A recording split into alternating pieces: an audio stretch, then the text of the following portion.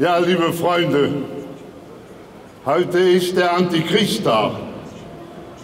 Ist der Tag, wo vor 71 Jahren die deutschen Faschisten Europa in Brand steckten. Ich war ja Soldat geworden. Und dann hatten wir ja einen Führerbefehl vorgelesen bekommen noch vor den Angriff. Da ungefähr so, der sowjetische Soldat ist nicht der feindliche Kamerad. Also wir waren in einem Land, wo wir, also wie man so schön sagen konnte, hausen konnte, wie man wollte. Wir sind dann auf die, war man später dann Rote Armee nannte, wir sind da auf die Rote Armee gestoßen. Also die dann mit uniformmäßig ganz anders aussahen als wie die, die wir überrannt hatten. Die hatten weiße Hemden über sich, weiße Hemden, und die hatten so wie die Oma-Schlafmützen, so ihre Trünchen. Und das war hoch und da sah ich den Sowjetstab. Ich sah den Sowjetstab und wusste in dem Moment, das ist doch Ivan. Und dann sind wir ja nun noch am Rückmarsch gewesen, hatten ja bald hier Verluste wie wir dann von Richtung Köln-Aachen kamen, über die Burgschweizer Brücke blieb der Zug stehen, hatte keine Einfahrt.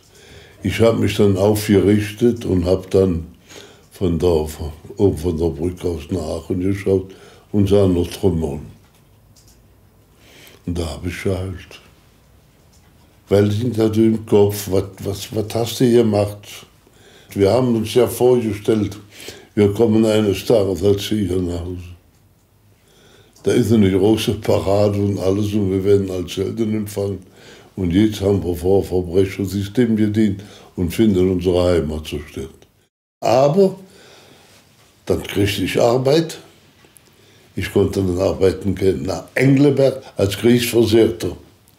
Dann in der Produktion arbeiten wo wenn einer so groß geworden ist wie wir damals, in der Peterstraße, Sankerstraße, diese verheerenden Wohnverhältnisse, wo dann sagt man nicht mehr, ich will Halbheiten, dann sagt man, ich will jetzt die ganze komplette Hand haben.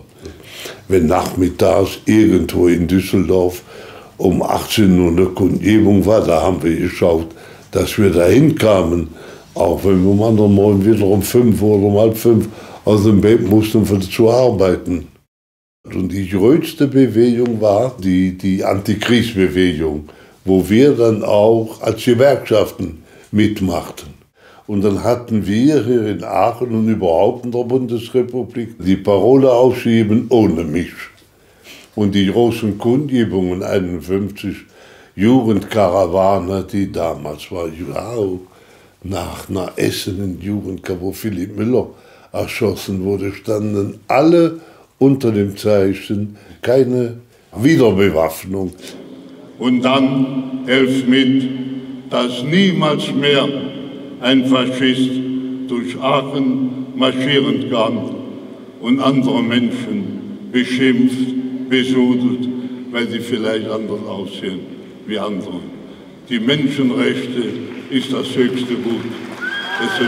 Ich danke euch.